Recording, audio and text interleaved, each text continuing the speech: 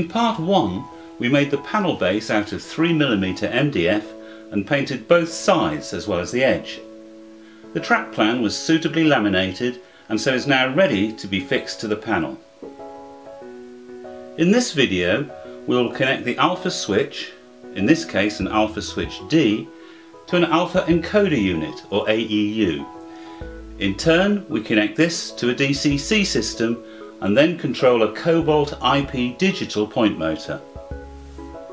Throughout the video we also include some tips that might help you. For example, it's worth getting quality heavy duty laminate so the track plan doesn't look crinkly when it's glued onto the panel. Using a 7mm punch we've already made holes where the bezels will be mounted. Lay the diagram centrally on the board and mark the position of the holes. Here we're using a jeweler's punch, but a pencil or a felt tip should work. Drill the holes using a 7mm bit. Now clean up both ends of the holes with a countersink. Use a couple of pens or pencils to align the diagram with the holes.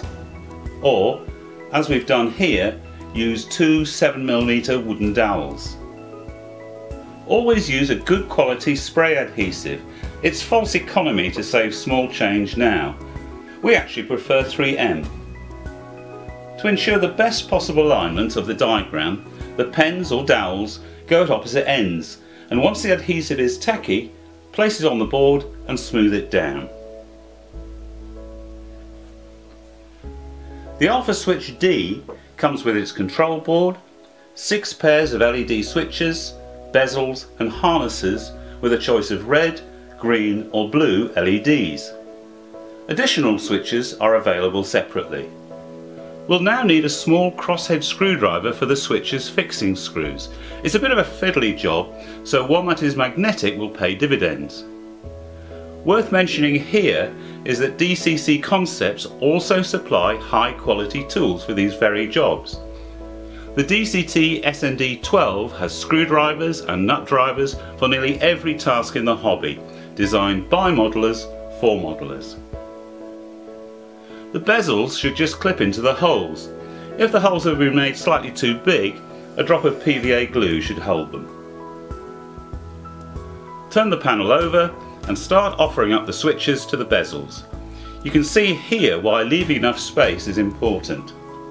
It doesn't matter about the orientation of the switches and they can be rotated round to fit. The white strip on the switch is there to protect some adhesive. Peel this off and stick the switch in position. This is another good reason for painting both sides of the panel as it won't stick that well to bare wood. The other reason is that the paint protects the wood from getting damp and warping.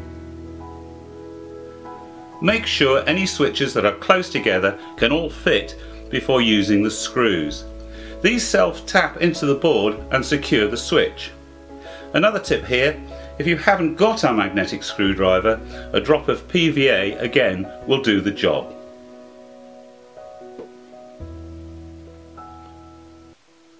We now fit the connection harnesses to each of the switches. Note that these must fit the right way up.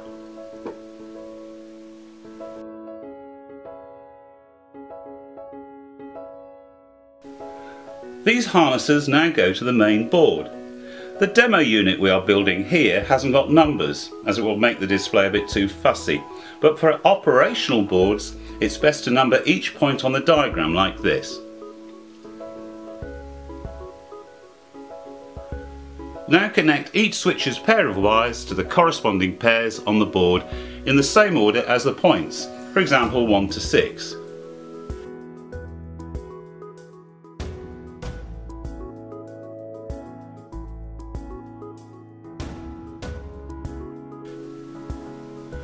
Here we have a crossover.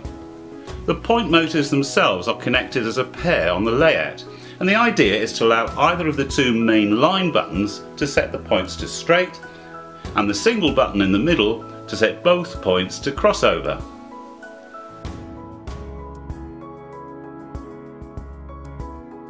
To do this we join the two main line switches wires together using our DCC Concepts DCD SY3 Y connector and the wire from this goes into one of the sockets.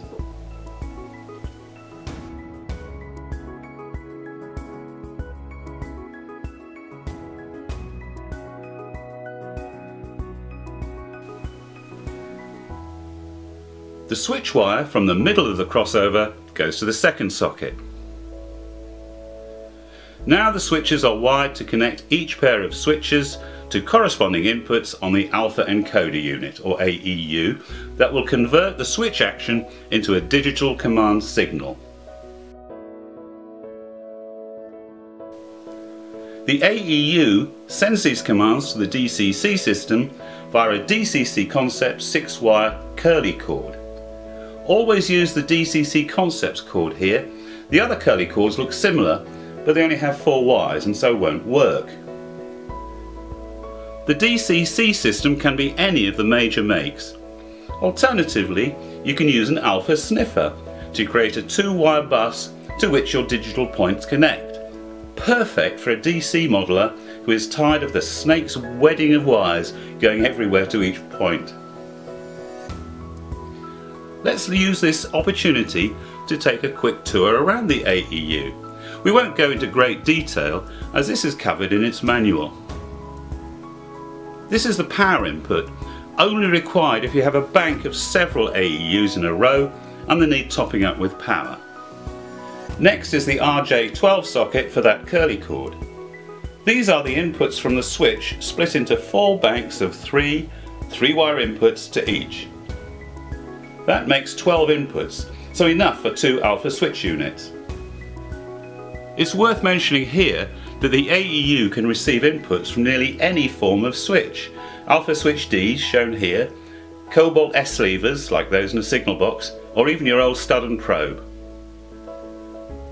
This is a plug for a digital repeater for the setup display, which is here. Now ignore this if this is the first AEU you are installing, as its defaults cover everything. If you're still curious, one of these is for the rare occasion you need to manually choose a cab address, whose default cab number is 4. The other button is to start off the automatic point addressing with another number other than the default of 1. The AEU automatically defines the first point's address as 1, then the next point to 2, etc. to 12. Even when you daisy chain AEUs together, the next to AEU's points automatically start at 13 to 24 and so on. This is an on-off switch, just leave it on for now. This socket is for daisy chaining of banks of AEUs where the lead goes from here to the adjacent AEU's input here. As I said, all of this is covered in detail in the manual supplied. For today's installation, nothing needs setting, so just plug and play. Each 3-wire output from the alpha switch goes to a corresponding 3-wire input on the AEU. DCC Concepts RGB ribbon, DCD RGB, is ideal. Use wire strippers to cut 6mm through the outer sleeves. This is important as you don't want to be clamping up on the insulation and wondering why nothing is happening. Even worse, too much wire sticking out risks short circuits. Then twist off each sleeve as you pull it off. This is much more effective than removing the sleeve then trying to twist the bare wire. It's also best to cut too much off and then trim to length. Note that tinning with solder is not required. A small flathead screwdriver tightens up the socket.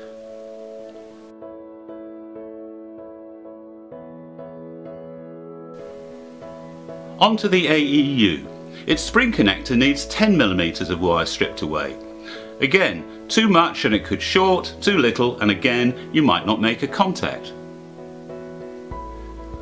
The panel with its alpha switch and AEU is now connected to a DCC system. With an NCE system shown here, it just plugs into the DCC panel.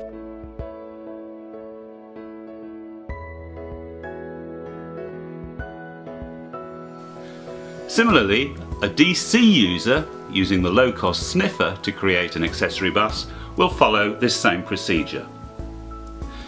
At the same time, 12 volts of DC regulated power is connected to run the alpha switch. With a DCC system now created for our arrangement, at the other end the Cobalt IP digital point motor is connected into its two-wire accessory bus. The rest is blissfully simple. We are now going to assign this point motor to a relevant pair of button switches on the panel. Gently slide the switch to set, that is away from the body of the motor.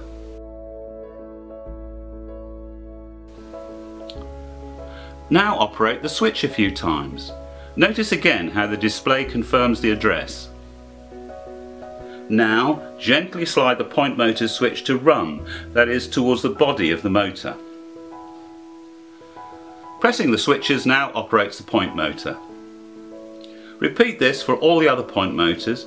Remember, the AEU has already allocated 2, 3, 4, 5, 6, etc. Nothing else to do but select set so the Cobalt learns its address, operate the next switch, select run, and that's it. More information on all the products mentioned can be found on the DCC Concepts website, as well as plenty more hints and tips.